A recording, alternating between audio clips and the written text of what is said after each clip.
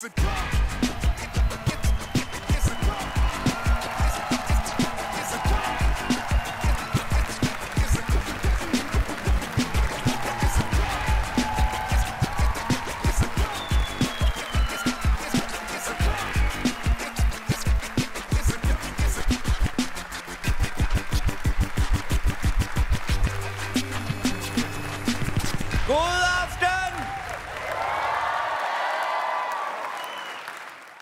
hedder Bøvl, og hvis der er en moral med showet, så er det, at der kommer ikke noget godt ud af at bekymre sig. Jeg har været bekymret hele mit liv. Jeg har aldrig kunne finde ud af at styre det. Og det gør bare, at jeg er endt i mange dumme situationer, og dem vil jeg gerne dele med jer i aften. Jeg har lagt mærke til, at hver gang man læser en god bog eller ser en god film, så starter det altid med sådan en klog citat. Så det har jeg også valgt at tage med til showet. Citatet lyder, Bekymringer betaler sig ikke, men det betaler sig at tale ud om sine bekymringer. Citat, Gajol Parquet, Eller gajolpakke. Ja, øh, nej, men, ja, men det er for...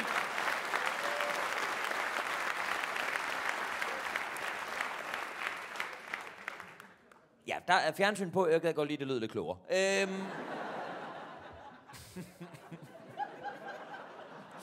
Men sandheden er, det var en gævelpakke, jeg læste på.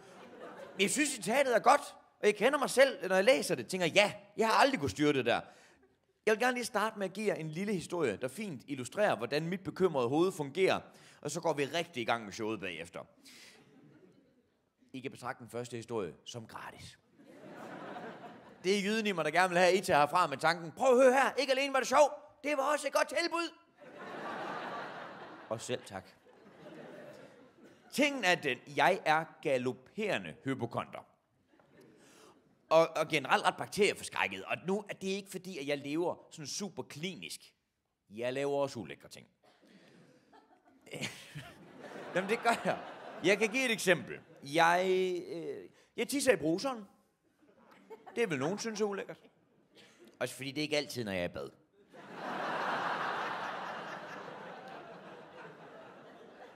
Øh, skal jeg høre meget for derhjemme. Men jeg har altid haft en stor frygt for at blive syg. Jeg havde en periode, hvor jeg slet ikke kunne slippe tanken om, at jeg skulle få kraft. Jeg ved ikke, hvor det kom fra. Jeg kunne ikke komme af med det igen. Min kæreste Sissel, hun siger også til mig, at du er nødt til at slå koldt vand i blodet. Jeg siger, at det tør jeg ikke. Jeg kan blive forkølet for helvede.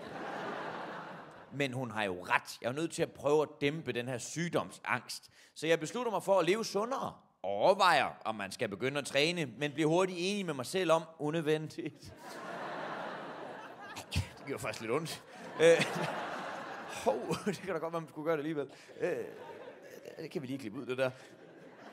For helvede. Øh, og det var en frygtelig start. Nå, showet, det bliver her overraskende. Nej, men det er godt, I er kommet. Øh, for helvede.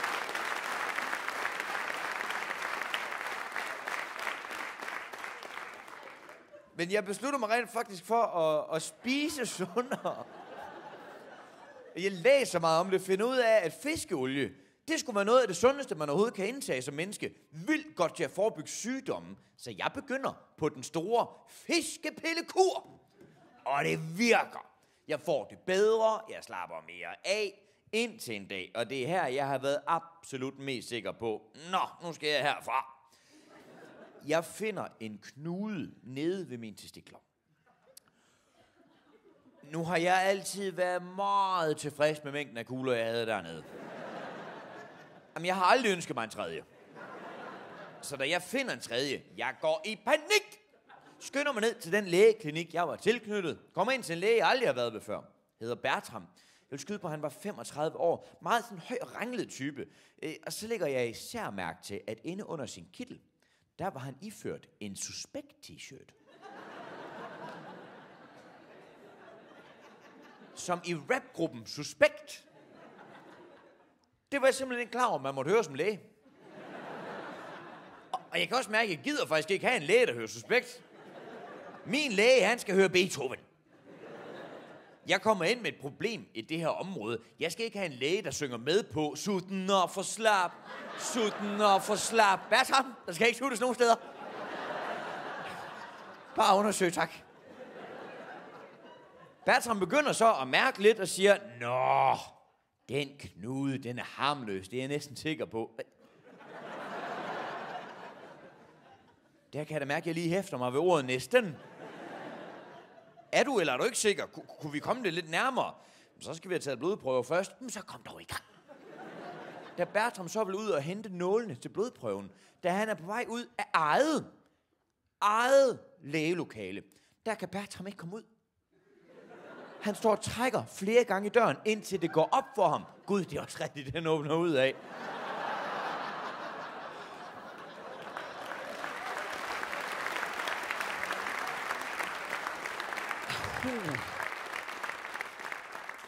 Ah, her begynder jeg at blive lidt skeptisk. 8 års medicinuddannelse. Så driller det stadig lidt med træk og skub. Jeg er så presset. Jeg sidder bare og tænker, han er ikke rigtig læge, ham der. Altså, jeg sidder bare og spænder i kroppen. Bertram kommer ind, begynder at pakke nålen ud. Jeg vil godt lige have sagt til Bertram, jeg er ikke super glad for nåle. Nogle gange, der besvimer jeg. Hold kæft. Det er normalt.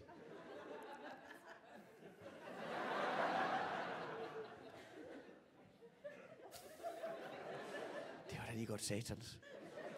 Jeg når at sige til ham, du skal bare lige vide, Bertram, jeg er ikke super, og så besvimer jeg.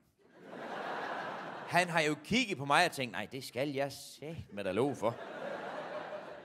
Da jeg ligesom vågner, så siger Bertram til mig, at han har taget prøverne. Mens jeg er væk. Det er et overgreb. Jeg bliver sur og siger til ham, det kan du sgu da ikke. Jeg, jeg, jeg, jeg har lige været besvimet. Så kan jeg se, at han rigtig står og morer sig. Skuldrene står og hopper og har det der irriterende grin uden lyd. Efter noget tid siger han, nej, det er bare en joke. Hvad er det for et tidspunkt, at du på?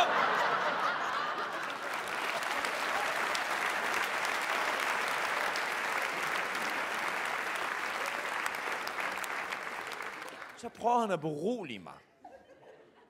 Med de vise ord, Mark, du fejler ikke noget. Jeg er læge, nu må du stole på mig. Er, er du det? Jeg tager derfra, stadigvæk mega bekymret, men bevares veludvilet. Så går der 14 dage, så ringer de til mig nede fra lægeklinikken og siger, du skal have valgt en ny læge. Jeg siger, hvorfor? Jo, du var nede ved en, der hed Bertram sidst. Øhm, ja, situationen er den, at Bertram, han er ikke læge længere. Nej, nu må det ikke. Da jeg får at vide, at han ikke er læge længere, der tager jeg altså lige en ekstra fiskepille, bare for en sikkerheds skyld. Og siger, hvorfor er han egentlig ikke læge længere? Ja, det må vi jo ikke svare på. Men kan du have en god dag, og så lad de på. Her tømte jeg bare glasset. Han var 35 år. Der kan jo ikke være sket noget godt. Hvis han var blevet overlæge, så skulle de da nok blære sig med det. Som jeg ser det, der er to muligheder. Den ene er, at han er blevet fyret, men det kunne man dårligt forestille sig. Han virkede jo topprofessionel. Eller også så er han død. Jeg tænker, han har fundet en knude på sig selv, som han var næsten sikker på. Nej, den her. det...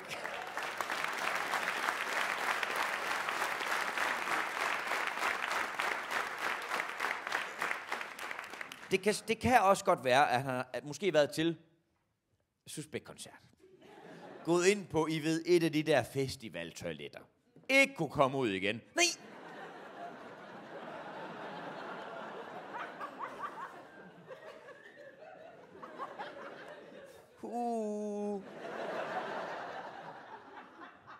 Sut den op fra slap. Jeg er så presset på det her tidspunkt. Ja, tak. Jeg ringer ned til klinikken og siger, jeg kan mærke, at jeg lige har brug for, at vi får taget nogle blodprøver på mig, hvor de siger, jeg må gerne komme derned. Problemet er bare, at din mand i underskud, så der er en måneds ventetid. Hoha! Det var sat med en lang måned, især fordi jeg begyndte at få flere af de her knuder alle mulige steder på kroppen. En måned senere kommer jeg derned, ind til en ny læge. Hun var skidesød. Hun tog sådan nogle vævsprøver af samtlige af de her knuder, og så sad vi bare og ventede på svar sammen. Da Arke kommer ind med svar på, jamen hun kæmper for at holde grin tilbage. Hun kigger på det og siger, nå da da. Nej, gode lyder, du har ikke kraft. Men øh, de der knuder, det er en allergisk reaktion, for du kan ikke tåle fiskepiller.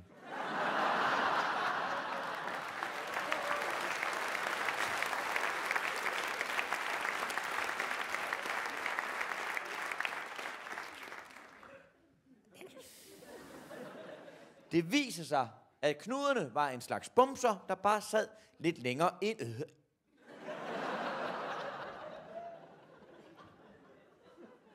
Simpelthen bumser, der bare sad længere inde.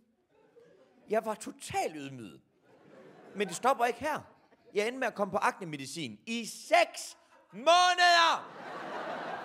6 måneder, hvor jeg hver eneste dag lige skulle spise en åndssvag aknepille, bare lige for at minde mig selv om, Gud, det er også rigtigt, du er idiot.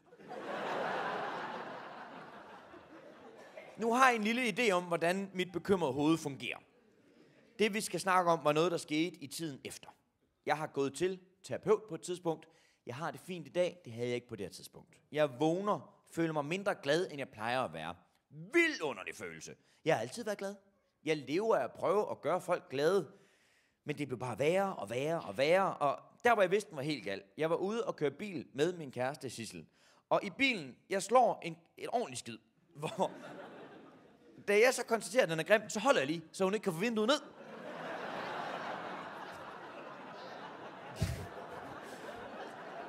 Jamen, I bruger den bare. Når jeg tænker på det, jeg synes egentlig stadigvæk, det er ret sjovt. Men den her dag, jamen, jeg var ikke engang tæt på at grine. Og der vidste jeg bare med mig selv, Nå, du er jo følelsesmæssige stykker. Der gør jeg noget, man aldrig må gøre som hypokonter. Jeg googler nogle af mine symptomer. Ah, ah. Men jeg kunne ikke styre det. Jeg kom til at gøre det. Ordet depression poppede op. Så man måske kan forestille sig, det håndterede jeg super godt. Jeg går i panik, overvejer, om man skulle ringe hjem til mine forældre for at snakke med dem om det. Kommer i tanke om, de er jo begge to over 60 år gamle og fra Nordjylland. Depression findes ikke i deres verden. Jamen, det, det er en vandremyte. Det er sådan på højde med, I ved, enhjørninger og, og moms. Altså, det... De har hørt om det, de tror ikke på det. Jeg beslutter mig for at få professionel hjælp, kommer op til en terapeut, der havde gode anmeldelser. Jeg synes, det var angstprovokerende at skulle snakke følelser med en person, jeg aldrig har mødt før. Jeg havde mange fordomme, men alt det her, det blev gjort til skamme. Hun var pisse sød. Malene hedder hun. Hun findes stadigvæk. Lad os kalde en terapeut Malene. 50 år gammel, lidt buttet kvinde. Og for at det skal være løgn, ret stor fan. Jamen, Ami Gyndal, det var faktisk ret træls. Øhm, jeg forklarer hende, jeg er bange for, at jeg har en depression. Hun siger, ja, det kunne det godt tyde på. Så begynder hun at spørge ind til alle mulige facetter af mit liv, for at tune sig ind på, hvem jeg er. Men endnu vigtigere, hvad fanden har skabt den her depression? Og det første, hun spørger om, er, om jeg er flyttet for nylig. Hun forklarer mig, at vi mennesker, vi er redebyggere. Så når vi flytter bolig, så svarer det til, at der er nogen, der har taget vores fine rede og bare smadret den. Og jeg flyttede til Nørrebro for ikke så lang tid siden, og det var da en omvæltning for en lille jysk mand som mig. Især priserne. For satan da. Jeg er født og opvokset i en lille jysk flække, der hedder Stensballe. Mine forældre har et hus på 170 kvadratmeter. Der er en stor dejlig have. Der mangler ikke noget. Sidst, der blev det vurderet til 1,5 millioner kroner. Jeg prøvede bare lige i min boligsøgen i Københavns området og se, hvad noget størrelsesmæssigt tilsvarende det kunne løbe op i. Hoha! 12 millioner. 12 millioner! Så bliver man nysgerrig. Tænker, hvad kan man egentlig få for 12 millioner? På Lolland. Det viser sig, Lolland, du kan få Lolland! Med falster som indkørsel.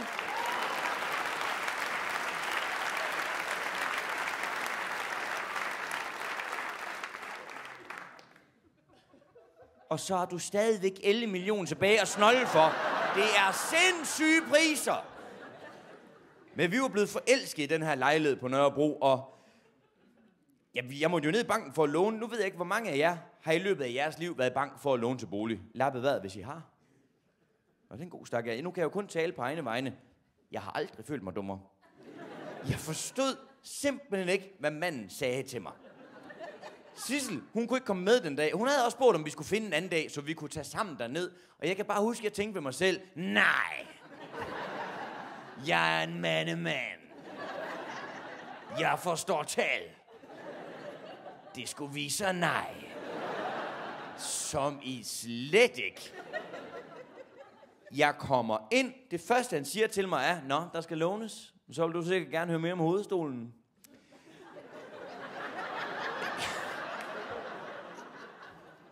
Jamen, nu har jeg jo sidenhen slået ordet hovedstol op.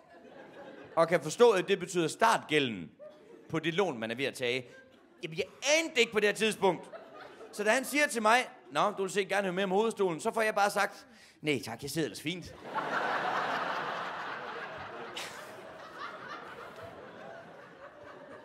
Jeg kan godt mærke, at jeg har ramt ved siden af.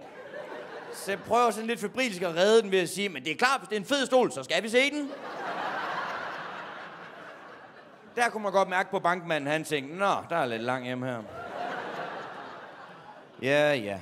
Jamen lad os starte med at snakke om videnskeden, og jeg var sådan lidt, prøv at høre, hun hedder Sissel. Altså, ej, men... Øh... Jamen, han kunne alle mulige fremmedord. Jeg forstod ikke, hvad han sagde. Jeg kunne genkende en følelse, som jeg havde oplevet, dengang jeg var lille. Gerne under fredagslik, når mine forældre talte engelsk, hvis jeg ikke måtte forstå, hvad de sagde.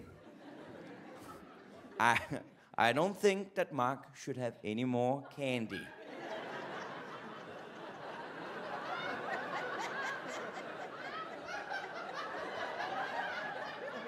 Man forstår ikke helt, hvad der bliver sagt. Man ved bare, jeg vil blive snydt lige nu. Og det er det samme nede i banken. Han...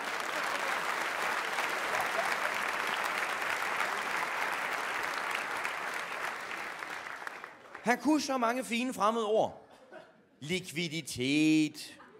Kvartal skattebillet, hvor jeg lidt, det tror jeg slet ikke, jeg har købt billet til. Altså. Efter hvad der føltes som en evighed, så sagde han, jeg tror bare, vi skal have valgt et lån til dig, Mark. Du har to muligheder. Den ene, det er et fastforrentet 30 et lån til 2,5 procent point. Så kan du tage et kortrentet lån til 0,09 procent point. Der skal du bare være opmærksom på, at den bliver genforhandlet hver halve år med udgangspunkt i de bagvedliggende sidste seks obligationer. Nogle spørgsmål? Nej, hvad skulle det næsten være? Jo, så skulle det lige være et enkelt spørgsmål, faktisk. Sidder du og gemmer en pose lige nu? Altså, hvad, hvad? Frygtelig oplevelse. Jeg tog kortrenten, Mest fordi jeg er hypokonter, og jeg skal bo på Nørrebro. Udsigten til at blive ret gamle snævre. I hvert fald, hvis man skal tro mine jyske forældre. De tror, jeg skal dø på daglig basis. Så farligt er der ikke. Jeg vil indrømme, vores ejendomsmaler, hun får også solgt området, som om, at det var meget barskt. Hun generelt en lidt vild kvinde, synes jeg. Hun, jamen jeg ved ikke, hvad hun lignede egentlig. Hun, øh... Nu prøver jeg bare lige at male billedet af hende. Hun, tror jeg, på vej hen til fremvisningen, har haft et uheld. Hun, hun, er, hun er snublet. Og i faldet, ganske uheldigt, at hun lige kom til at tage fra med begge øjenbryn. Bup.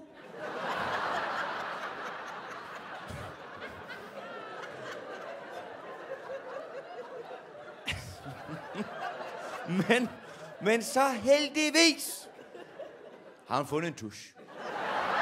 Altså, Jamen, det ser så vanvittigt ud.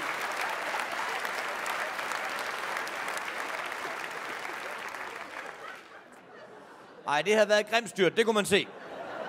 Hun havde lige været nede og vende med hele ansigtet. Læberne, de var helt hævet. Jeg ser der også nogen, der måske er snublet på vej herhen. Men bare, I har det godt. Ej, hun var ret vild. Jeg kan huske, hun sagde om lejligheden, det er jo en rigtig dejlig Nørrebro-lejlighed, det her, fordi der er to altaner. Og det betyder ikke at stå ude på den ene. Se, at cyklen blive stjålet. løbe ud på den anden. Se, hvor bliver den egentlig kørt hen? Og tænkte, ja. Jamen, øh, vi tager den. Vi tager den. Og...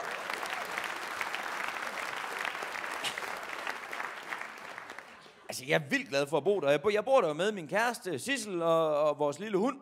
Vi for hund for ikke så lang tid siden. Åh. Hvor mange af jer har egentlig hund? Lad mig hvad, hvis I har hund. Nå, det er en god stak. Hvad for en har du? En corgi og en rottweiler-blanding. Hvad, blanding af hvad dog? Rottweiler? Hvad? Af hvad? Hvad? Nå, hvad er det ja, ja. Nå, jeg, skal, hvad, jeg skal bare lige have det igen, undskyld. Det, det, bare, corgi, hak ved det, den kender jeg. En blanding af rottweiler. Bernd Bern, ja. Ja, det er jeg kan ikke rigtig, det er fordi jeg kan ikke helt fornemme, om du sidder og tænker, ha, ha, ha, nu laver jeg lige pis med ham. Vi kan, nej, I skal ikke sidde der som om, ja, den kender vi da alle sammen. Er, er det Rasens navn? Okay, ja, ja, Bernsend, Bernsend, ja, ja, ja, ja.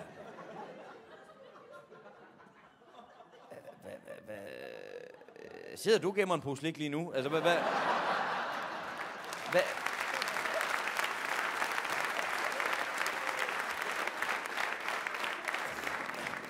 jeg kan mærke, at jeg ikke rigtig stoler på dig, men, men, men, men tillykke med korkinen. Lad os lære hinanden lidt at kende. Hvem er ellers hun? Nå, nu skal jeg sige hvad, har- hvad har du for en? En mops? det, det er også en... Ja. Altså... Oh.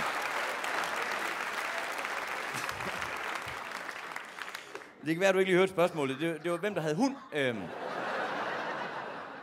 Hvem er ellers? Der er der mange, der har hånd i vejret. Hvad finder du? To ret... Ja, okay, ja, ja. Yes, udmærket. Nå, jeg går lige herover. Øh, jeg, jeg, har, jeg har faktisk en lille øh, griffonhund. Det ligner... Det gør, at det ligner en mini-udgave af en rottweiler. Nu ved jeg ikke, om alle rottweiler egentlig er, de er sorte med de der små brune aftegninger. Min hund ligner 100% en mini-rottweiler. Vi kunne mødes. Det ville være vidunderligt at se dem gående ved siden af hinanden. Min lille bitte bitte ved siden af den store. Det ville ligne sådan før-efter billede. Lille bitte brug den der store ind. Du skulle prøve steroider, du. Hvem er ellers hun? Hvad har du for en? En, a, a, a, hvad? En amerikansk Staffordshire, ja. Ja, nu spørger jeg helt dumt, men er den lovlig? Ja, ja. Du er klar over, at du bliver filmet lige nu? Det er bare, du kan nå at ændre svaret, hvis... Det, det, det, det, vi er da enige om, det er en muskelhund, er vi ikke det? Ja, ja, ja, ja, ja, ja.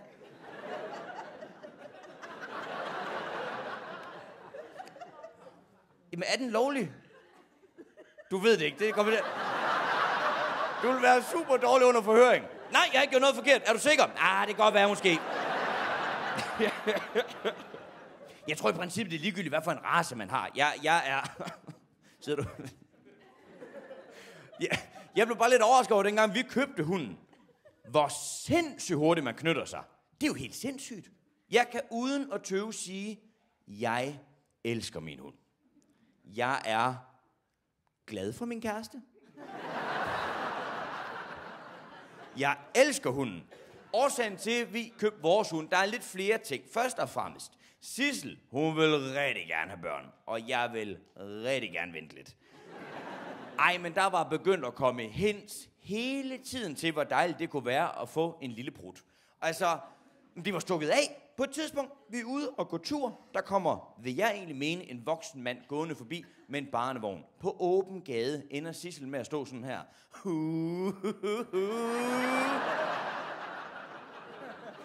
Det er for meget. Også fordi det er en hjemløs mand, han går tur med pand. Altså rolig.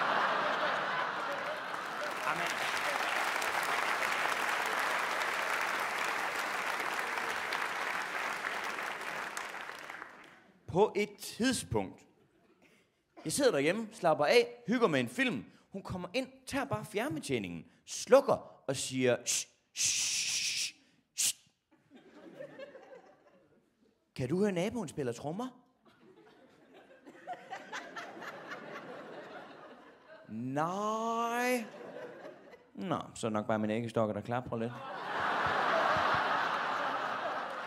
Sindssygt irriterende. Jamen,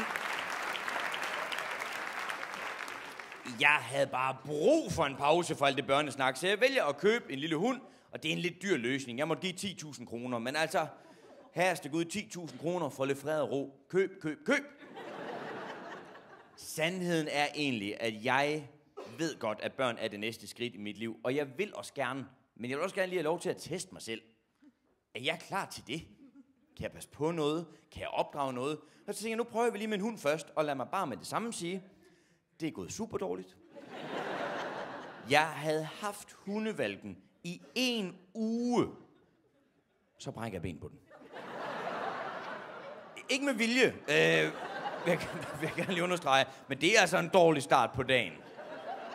Jeg skulle ud og gå morgentur. Jeg var meget træt. Helt groggy ser jeg så, at Sissel på køleskabet har hængt sådan nogle børnetegninger, hvor jeg bare tænker, nej, nu stopper jeg det kraft.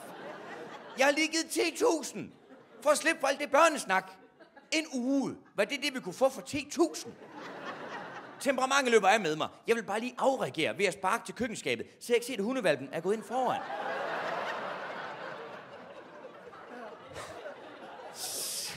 Skrækkeligt. Jeg får så dårligt samvittighed, og jeg føler mig da også dum. Også fordi jeg finder ud af, at det ikke er børnetegninger. Hun tegner bare dårligt. Jeg har, jeg har aldrig set hende tegne. Jeg skynder mig afsted til dyrlægen. Heldigvis, der sker det her på en søndag, hvor dyrlæger er super billige. Eder med en lang køretur. Bare sidde i den der konstante lyd. Og det var mig. Jeg var pisseked af det. Hunden havde det fint. Der var sædevarme. Jeg kommer ud for fat i en dyrlæge, og hun vil gerne lige tage et røntgenbillede for at se, hvad der var sket. Og det er klart, man sidder bare og krydser fingre og tænker, please, at den bare har fået et lille slag, og så er det det. Jeg kommer med ind, ser, vil jeg mene, et unødvendigt stort røntgenbillede af et uskyldigt hundevalpeben, der er brækket midt over. Da jeg ser det lille brækkede ben, jeg kan bare mærke tårne. De begynder at presse sig på. Jeg kæmper for at holde dem tilbage. Dyrlægen hiver mig til side og siger, ja, som du kan se, så er vi jo nødt til at operere. Jeg skal høre, er I forsikret? Jeg siger, nej. Hun siger, nå. Det kommer til at koste 20.000. Her vælter tårne bare ud. 20.000? Jeg har givet 10 for hunden. Det er et fuldstændig sindssygt regnestykke. Jeg brokker mig højlydt og siger, nej, jeg har givet 10 for hunden. Jeg kan ikke operere for 20. Der skal det vise, at hende dyrlægen, jeg har fået fat i, var et iskoldt, vanvittigt menneske. Uden at tøve, siger hun bare, Nå, jamen jeg kan da aflyde den for to, så har du købt en ny, så har du lige sparet 8.000.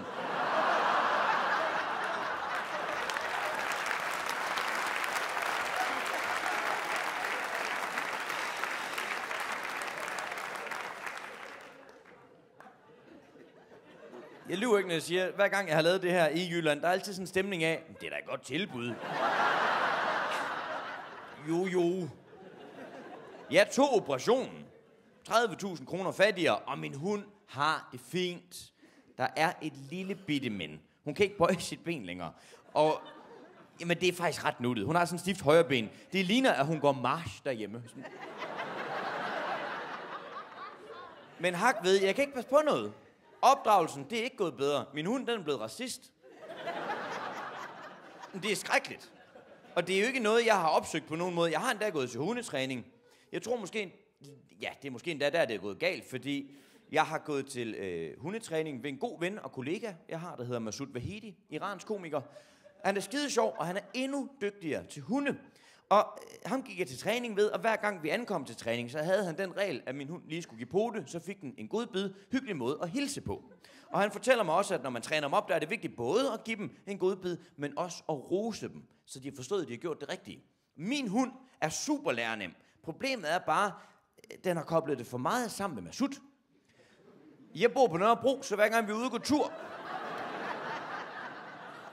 og der kommer en mørkglødet person imod os, så har vi pludselig bare en snacksulten hund med en stiv arm, der sidder og venter glad. Hej! Frygteligt! Jeg har stået i panik ved siden af at være sådan helt, nej! Eller nej, hvad fanden reagerer du egentlig på? Ned med det ben! Jeg sparker dig igen. Intet virker! Den stopper ikke med det her, før den har fået belønningen. Er I klar over, hvor skidt det her ser ud fra den uskyldige indvandrers synspunkt? Det eneste, han ser, det er en hund, der hejler mig, ejeren. Hvid, skaldet mand, der står med godbid. Dygtig!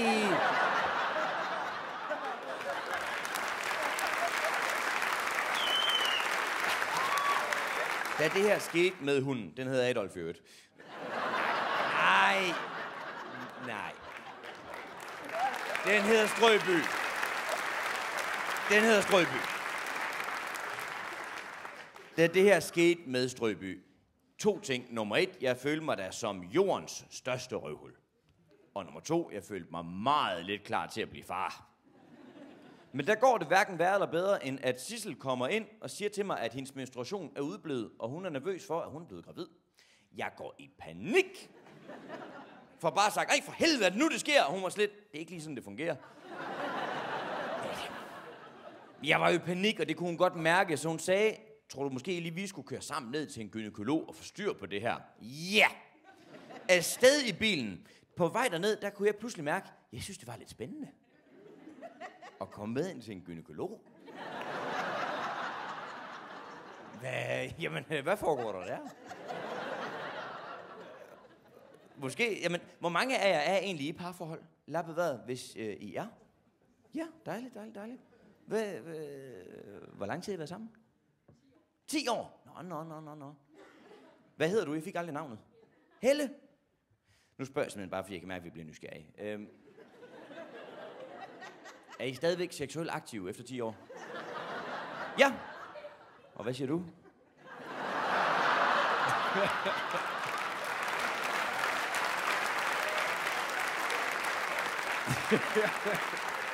ja, okay. Nå, det er altid spændende lige. Ja, nå, nå. Okay. Er det sønnen ved siden af? Nå, for helvede. Øh.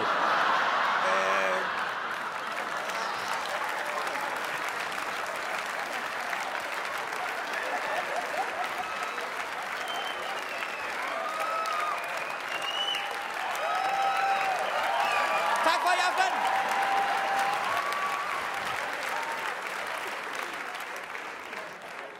Åh, oh, Gud også da.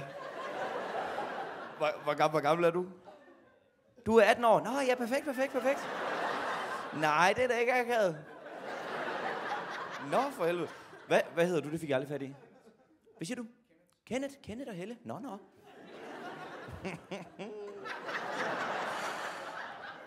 Kenneth, hvis du skulle være helt ærlig. Hvad er det frækkeste Helle, hun gør for dig at være? Undskyld. Du behøver ikke svare. Jeg kunne bare godt lige tænke mig at se, kan du egentlig blive rødere i hovedet? Og ja, det kunne godt lade sig gøre. Men det er da dejligt at høre. Er du, du er da glad for, at, øh, jeg kender kende dig heller stadigvæk jeg finder lysten? Det skal du vide. Den kan nogle gange dø ud ved, ved, ved folk, når de har været sammen lang tid. Ja, så er det lidt spændende. Hvad gør de egentlig for at peppe det op? Øh, uh, ja. Ej, jeg kan sgu bare sige, Helle, dengang det var nyt, med mig og Sissel, der må jeg... Altså, i starten af vores parforhold, det, det var jo noget andet. Nu vil jeg ikke have, at I dømmer mig, men jeg, jeg kan huske, i starten, der ville jeg, hvis jeg måtte, der ville jeg synes, det var frækt, hvis jeg måtte have taget, I ved, en banan og putte op. Øh.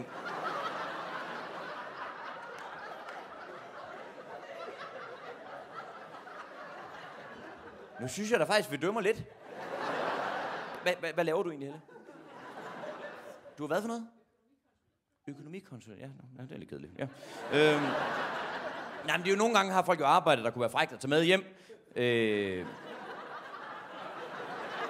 ja, den er der måske ikke helt, så bare rolig, den behøver du ikke frygte. Jeg må sige, hvis der var frit valg på alle hylder, og der er jeg måske lidt klassisk anlagt. Jeg vil synes, det var ret frækt, hvis, hvis Sissel var, I ved... Øh,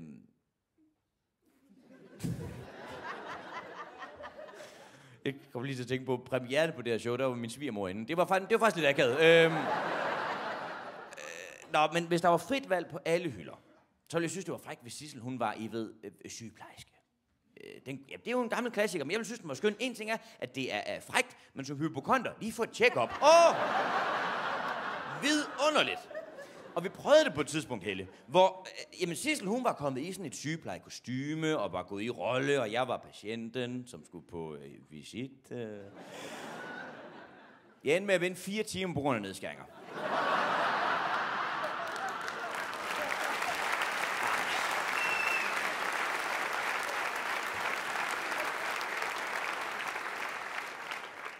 Men jeg fortæller terapeuten alene, både om vores boligsituation, og om Ja, om at der er pres i forhold til børn på hjemmefronten. Og hun siger til mig, at hun tror ikke, at bolig har noget som helst med min øh, psykiske tilstand at gøre. Men hun siger, vi har måske fat i noget med hele børnesnakken. Hun kan godt mærke, at børn stresser mig. Og hun forklarer mig, at når vi stresser længere tid ad gangen, så opbygger det kortisol i kroppen. Hvilket kan skabe en kemisk ubalance, og det kan give en depression. Så hun beder mig at tænke over til næste gang. Hun giver mig en lille lektie for. Jeg skal tænke over, hvad det er ved børn, der specifikt stresser mig mest. Nu ved jeg ikke, hvor mange af jer har egentlig børn. Lappe hvad, hvis I øh, har? Ja. Hvor mange har du? To styks. Dreng, pige, hvad er vi ude i? To drenge. Bum. Hvor gamle er de? 3 og 5, og det er stadigvæk nogle små brutter. Jamen, det, det, det er egentlig, som jeg er kommet frem til ved børn. Jeg vil gerne have dem, det er slet ikke det. Men jeg synes, der følger et kæmpe ansvarspres med. Det er jo klart, man vil gerne have, at det bliver søde, velfungerende mennesker. Men ja, men tag nu sådan en som Breivik, han har også forældre. Oh, oh, oh. Jo, det har han da. Buber, det kan gå så galt. Jeg vil også virkelig gerne have, at jeg øh, kan levere de bedste rammer for mine børn. Hvor, hvor bor du henne, hvis man må spørge? I Harskoven. Inde i skoven. Gud, hvor hyggeligt. Jeg, jeg, øh... ser små trolde, der kommer med pandekager og sådan noget. Jeg bor på Nørrebro, og jeg bilder mig ind, at det er et godt sted for et barn at vokse op, fordi der er mange forskellige kulturelle indtryk. Og det siger jeg mest, fordi jeg kommer fra den racistiske del af Jylland, der hedder Jylland. Ej, sindssygt nogle ting, jeg har hørt hjemme i Horsens. Jeg kan huske på et tidspunkt, vi var i byen, der var to, der var lidt oppe på toppes. Ham den ene, han var tydeligvis racist. Hans ven var det faktisk også. Ham den ene, han fik sagt, prøv alle de fucking indvandrere, de er alle sammen med i bander. Hans ven prøvede at tale det ned ved at sige, hold nu kæft, Claus, der er også nogle af dem, der kører taxa. Sådan. Så er der sat med langt hjem. Men, man kan sige, at man kunne nok forvente det, når man tager i byen, men det sneg sig ind alle mulige steder. I min folkeskoleklasse, der var en enkelt dreng, som var af anden etnisk herkomst. Og det gav nogle gange nogle gnidninger. Så vores klasselærer, han vil lige prøve at mane det til jorden en dag, så han kommer ind og siger, lad mig lige forklare jer, hvorfor racisme det er så dumt. Det er bare en farve. Vi er alle sammen mennesker. Og så er det pisse ligegyldigt, om man er sort, gul eller hudfarvet. Undskyld, hvad helvede? Det var i folkeskolen, det her. Det er jo sindssygt. Nu bor jeg selv på Nørrebro, og jeg, jeg, jeg, jeg går meget op i at være politisk korrekt, også fordi jeg er på ingen måde racist.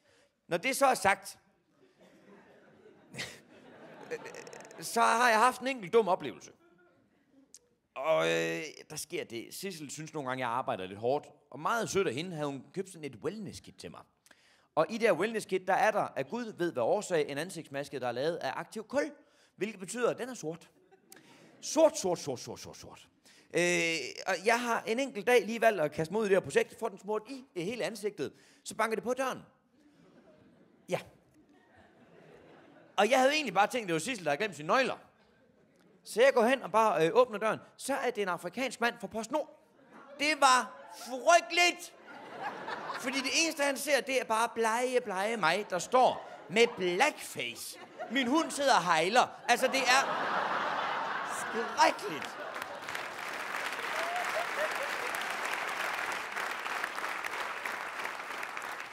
Ingen af os siger noget. Vi står bare og holder øjenkontakt.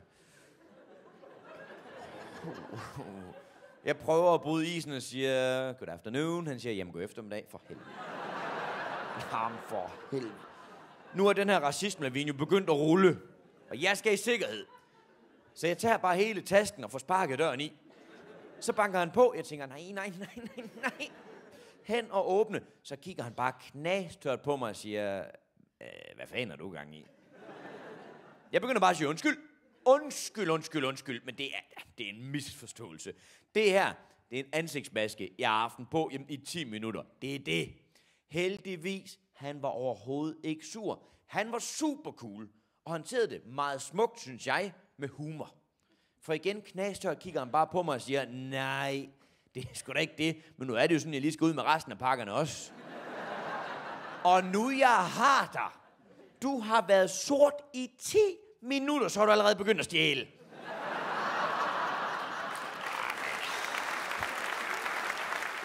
Jeg snakker med terapeut Malene om nogle af de bekymringer, jeg har omkring børn og opdragelse og rammerne for børnene. Og ret frustrerende, synes jeg, så siger hun, ved du hvad, Mark, jeg er ked af at sige det, men jeg tror faktisk heller ikke, at det er børn, der har givet dig den depression. Og det er jeg ked af. Hvor jeg tænker, ja, det, ja, det er du ked af. Hvert minut, jeg sidder nede ved hende, det er bare penge. Øh. Og jeg brokker mig lidt over det, siger, altså, har, har du overhovedet fat i noget som helst? Og det betyder til gengæld også, det gav lidt bagslag, for da jeg kom op gangen efter, der har hun taget det tunge skyt til brug. Jeg når lige at sætte mig. Så kigger hun på mig og siger, Mark, er du stadigvæk glad for din kæreste? Ho, ja. og du skal være ærlig. Ho! Den er voldsom at blive konfronteret med. Er jeg egentlig stadigvæk det? Vi har været sammen i otte år. Er vi stadigvæk glade, eller er det bare fordi, det er lidt mere trygt, det er lidt mere nemt, der er en del praktik forbundet med det, en lejlighed, vi bor sammen i, hvem skal have hunden? Det er lidt trist, man ser det bare ofte ske, livet kan gå på standby. Og det er ubehageligt, men jeg tror, det er meget sundt, nogle gange lige mærke rigtig efter, er man glad helt ind i maven. Så jeg sidder og tykker på det i ret lang tid, og må sige, at jeg er kommet frem til, at jeg elsker hende.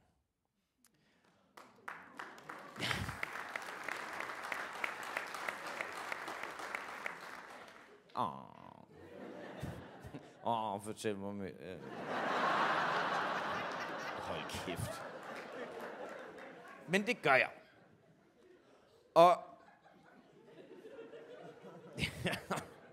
det er så dumt, fordi hun sidder lidt over. Jeg siger det aldrig til hverdag, men det er lidt nemmere for mig faktisk at sige for en 700 mennesker. Det er lidt, lidt mærkeligt, men sådan er det. Øhm,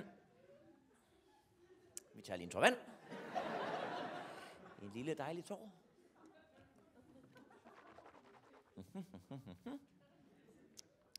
Og klipper ind igen her. Men det gør jeg.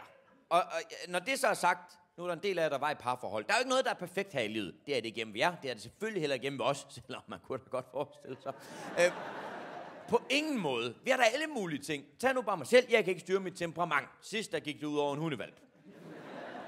Men sådan har Sissel jo også alle mulige ting. En af dem, for eksempel, hun kan ikke lade være, når hun kan mærke, at jeg er rødglødende af raseri. Hun kan ikke lade være med at give mig det der lille puff ud over kanten. Uh. Terapeut Malene spørger, om det er sket for nylig, hvor jeg siger, jeg kan i hvert fald huske sidste skete. Jeg var ude og øh, køre med DSB, og det er klart, det påvirker allerede ens humør i en negativ retning. Jeg har et lidt spændende forhold til DSB. Jeg postede for nogle år tilbage et stand-up-klip, hvor jeg sviner dem lidt til. Hvor mange af jer har set det klip? Lad være, hvis I har. Og det er en god stak af jer. Til dem, af, der ikke har kort fortalt, jeg var rasende over, at man ikke kunne få mad og drikke ombord på togene. Men jeg tænkte, hvad nu, hvis du skal fra København til Aalborg? Det er jo en tur, der kan tage 6 timer. Det er 6 timer uden mad og drikke. Der er jo tale om fængselslignende tilstande. Troede jeg, indtil jeg undersøgte. Det viser sig, i fængslerne, der er mad og drikke tre gange dagligt. Og ellers er der en kiosk, hvor du bare kan snakke løs. Så vi er ude i kriminelle mennesker har bedre forhold end uskyldige mennesker, der pendler med DSB. Ah, men DSB, vil der modtage min fuckfinger. Men hov, hvor er fuckfingeren henne? Ja, den er forsinket på grund af sporarbejde øh, kort fortalt. Og det...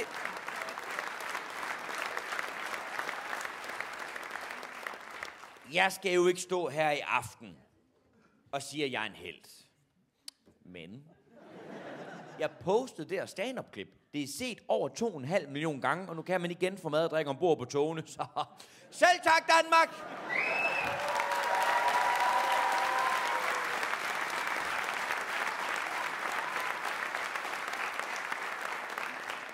Og, og, og, og. Stopper succeshistorien så der? Og ja, det gør den. Stadigvæk lort. Den her dag, hvor Sissel giver mig puffet. Jeg var i Aarhus. Klokken var et om natten. Jeg skulle hjem til København. Jeg havde lige købt en billet øh, på deres appsystem. Kigger op på informationstavlen. Kan se afgang aflyst. Kigger ned. Betaling ikke aflyst. Sikkert er et tryllenummer. Næste tog kom først klokken 4. Jeg måtte vente tre timer på en piskold perron.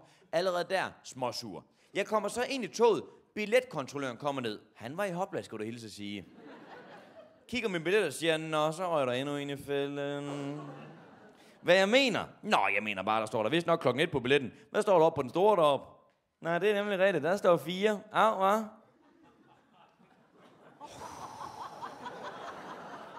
Ja, men det er da også rigtigt. Jeg har købt billetten i samme døgn. Hvad er det, vi lige siger, problemet er her?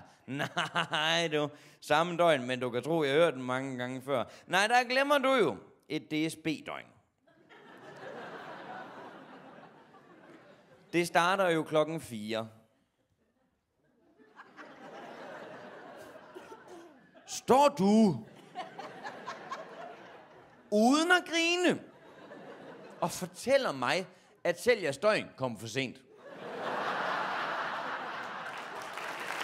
Okay. Ah.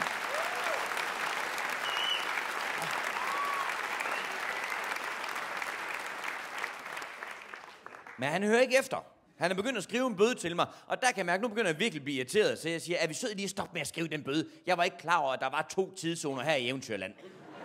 Hvor han bare svarer det mest provokerende. Han siger, åh, jeg vil jo gerne annullere bøden, men det kan man jo ikke, når den første er skrevet. Nej, men så er den inde i systemet, så kan man jo ikke gøre noget. Der knækkede filmen for mig. Jeg kiggede på ham, så sagde du er sgu da en kæmpe idiot. Så blev han sat med sur. Puste sig op og sagde, prøv at Karl Smart, den kommentar, den trækker du tilbage. Og jeg var sådan lidt, men det kan man jo ikke, når den første er sagt.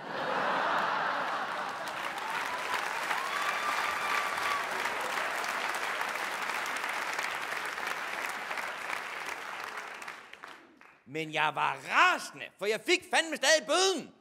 Og jeg tænkte, det var da lige godt satans. Jeg ender med at ringe hjem, få fat i Sissel. I håber om lige at snakke med et almindeligt menneske og siger, ja, ja, så er vi kommet afsted.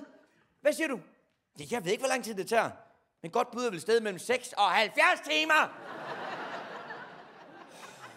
Og jeg er sgu ikke sikker på, at jeg er frisk, når jeg kommer frem. Jeg er sgu bange for, at jeg får jetlag.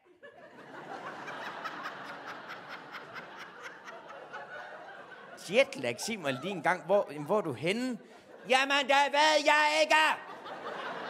Mit bedste bud, det er sgu efterhånden fremtiden. Ved du, hvor hun svarer, når hun hører det? Nej, gud, er du i fremtiden?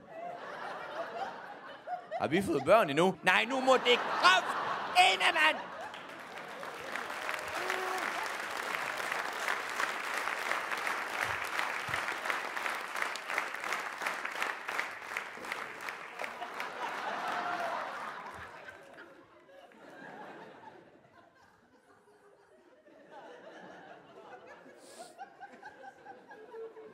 Men jeg er glad for hende. Det er jeg rent faktisk. Jeg var meget tæt på at miste hende. Så noget, det sætter tingene i perspektiv. Jeg ligger derhjemme en dag. Hun sparker bare døren op, smider på sengen et par bitte små, sorte, pikante trusser. Og siger, det der, det er ikke mine. Jeg følte et trækspørgsmål, så jeg sagde, det er heller ikke mine. Hun begynder at tage mine ting og putte ned i en sort skraldesæk, og jeg ligger og panikker og tænker, hvad gør vi lige her? Heldigvis så ringer det på døren. Ind kommer hendes veninde Louise. De skulle have været på noget brunch. Sissel tager bare trusserne og viser dem og siger, ja, vi er nok nødt til at aflyse. Prøv at se, hvad jeg har fundet. Da Louise ser trusserne, der er noget, der går op for hende. Så hun siger, Sissel, nu må du ikke blive sur. Nej, nej, nej, nej, nej, nej. Nej, nej, nej. Nej. Nej, nej, nej, nej.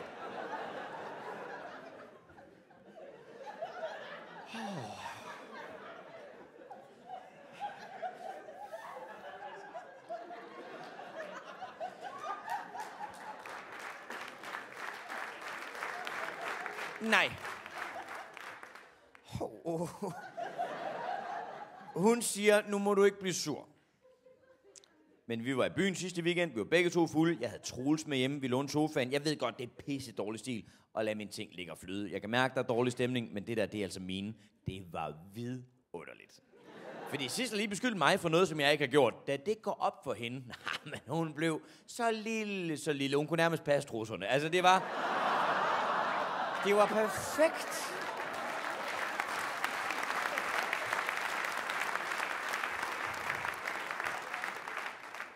Jeg er glad for hende. Jeg vil være meget ked af at miste hende. En ting er, at det vil gøre ondt, men jeg vil også være rigtig dårlig som single.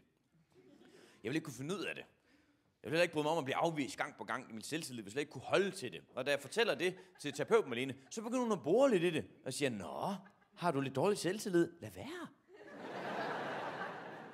og jeg kan forstå, at hun bliver ved. Til sidst så indrømmer hun, det er egentlig fordi, der ofte er en en-til-en sammenhæng mellem depressionstilstand og så lavt selvværd. Så hun spørger mig meget direkte, er der noget, du ikke rigtig bryder dig om rent selvværdsmæssigt? Og jeg må da bare blankt erkende, at jeg har det ikke øh, skide fedt med, at jeg har mistet håret. Øh, og jeg havde ret meget af det, og så begyndte det bare at forsvinde ret hurtigt. Eller forsvinde, der, der, der, der er sket det. Det, det der sad her. Det har fået en form for afbudsrejse til destination røv.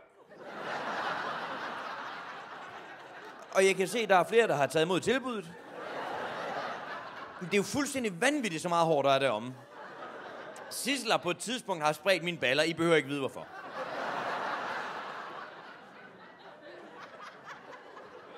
Men hun er en meget umiddelbar type. Så da, da hun bliver mødt med det behårede syn, jamen det kommer bare ud af det blå for hende. Nej, gud, det ligner Chewbacca. Og hvis man så i det mindste kunne slå en skid, der sagde... Så kunne vi da... Men...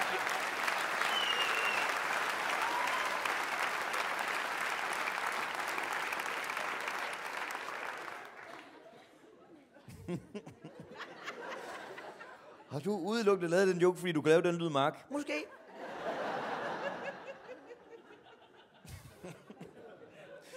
Terapeut Malene bliver ved med at spørge, om der er andre ting, min selvtid ikke har det så godt med. Og jeg må bare sige, jeg kan virkelig ikke lide, når jeg føler mig dum. Og derhjemme, der må jeg bare blankt erkende, der føler mig oftest i hvert fald som den dummeste. Også fordi jeg laver det her. Altså, øh, og, og Sissel, hun er jurist. Så der, der er lidt forskel. Ja, eller jurist, måske endda advokat. Jeg har stadigvæk ikke helt forstået, hvad forskellen er. Hun arbejder i hvert fald på et apotek.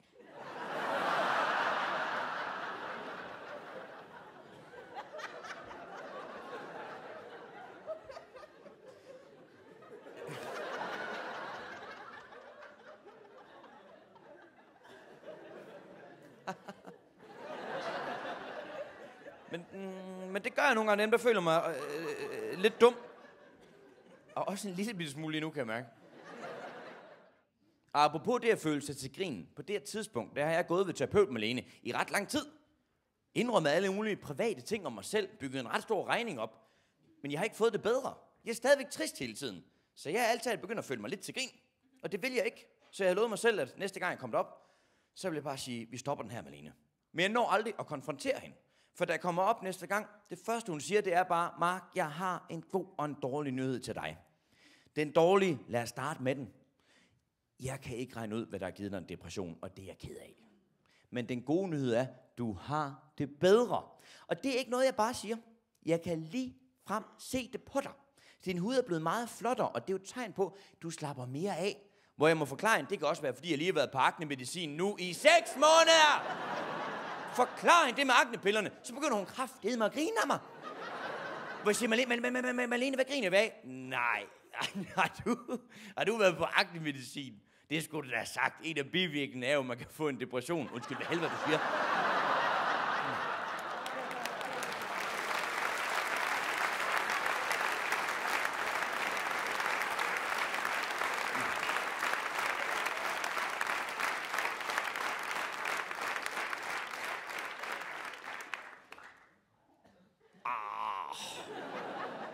Lige prøve at se en gang. Og så googler vi det. Så viser det sig, det er en sag, der de steder har kørt i medierne, at det aktmedicin, jeg var på, en af bivirkningerne var, at man kunne få en depression. En af de andre bivirkninger er øvrigt hårdtab. Nå, men sikkert en mysterien, de blev løst. Jeg var rasende. Da jeg var nede og købte de piller på apoteket, hvorfor helvede siger advokaten ikke noget til mig? Det her var...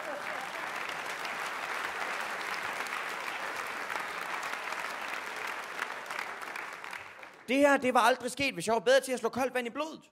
Hvis jeg kunne finde ud af at slå koldt vand i blodet, så var jeg aldrig endt nede ved den mandlige gynekolog. Det er jo igen, fordi jeg ikke kan styre mine bekymringer om børn, at jeg vælger at anskaffe mig en hund, som jeg elsker. Men det kostede lige et brækket ben og en regning på 30.000. Men det dummeste, det er det ved Gud, at fordi jeg ikke kan styre mine bekymringer om, hvorvidt jeg er syg eller ej, så begynder jeg på sådan en lorteløsning. Det jo er at spise spandevis af fiskepiller der giver mig knuder, der gør, at jeg tror, jeg skal dø. Så jeg kommer ned til Bertram, den røv af en læge. Kommer på aknemedicin. Får en depression. Mister håret. Tager til terapeut, snakker stolpe op og stolpe ned, opbygger en kæmpe regning. Så det er, som Gajon Pakken sagde, bekymringer betaler sig ikke. Der kommer én ting ud af det, nemlig bøvl. Gud, hvor det shows titel. Godt lavet. Tak skal I have.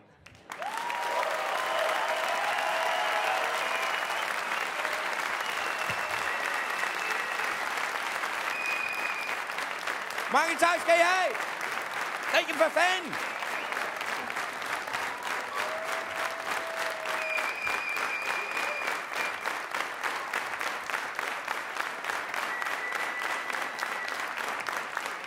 Tusind tak for i aften.